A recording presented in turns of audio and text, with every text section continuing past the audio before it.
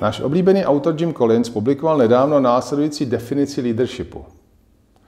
Leadership je umění přimět lidi, aby chtěli dělat to, co je potřeba, aby dělali. Tato definice obsahuje tři klíčové body. Za prvé, lídr musí definovat, co je třeba udělat, ať už na základě svého instinktu, znalostí nebo díky diskuzi se správnými lidmi. Za druhé, není to o tom přimět lidi dělat, co je třeba, ale přimět je, aby oni chtěli dělat to, co je třeba. A za třetí, je to určitý druh umění. A právě proto, že je to podle Kolince určitý druh umění, musí každý lídr namíchat ten správný koktejl, který odráží jeho vlastní osobnost. A proto znalost vlastních silných stránek a schopnost je využít pro efektivní vedení lidí jsou základem. Kromě osobních vlastností, které jsou individuální, Collins definoval sedm elementů leadershipu, které jsou efektivním lídrům společné. My vám je zde nabízíme.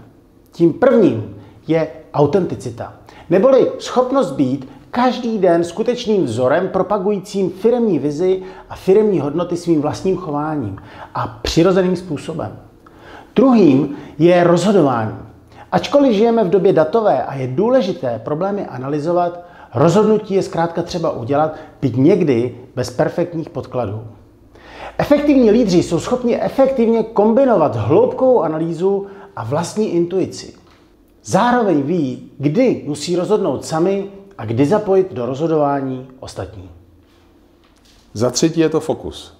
Efektivní lídři koncentrují svoji pozornost na omezený počet priorit a důsledně je dodržují.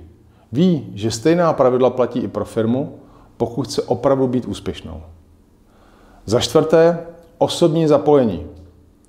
Skvělí lídři jsou ve firmě opravdu cítit. Ví, na co se ptát a čemu věnovat pozornost. Jsou vidět ne díky mikromanagementu, ale díky správně dávkované pozornosti lidem a jejich problémům, která jim pomáhá budovat vztahy. A právě budování vztahu jak na venek, to znamená ke klientům, dodavatelům, partnerům, tak i dovnitř firmy lídrům umožňuje mít správné informace a zvyšuje lojalitu. Za páté, vysoká úroveň takzvaných hard and soft dovedností. Sem patří v první řadě schopnost dávat efektivní zpětnou vazbu odpovídajícím způsobem a také schopnost nastavovat vysoké a náročné cíle v kombinaci se schopností podporovat a motivovat lidi při jejich dosahování. Právě kombinace soft a hard prvků vede lidi ke snaze o maximální využití jejich osobních kompetencí. Za šesté, komunikace. Efektivní lídr neustále stimuluje komunikaci všemi směry.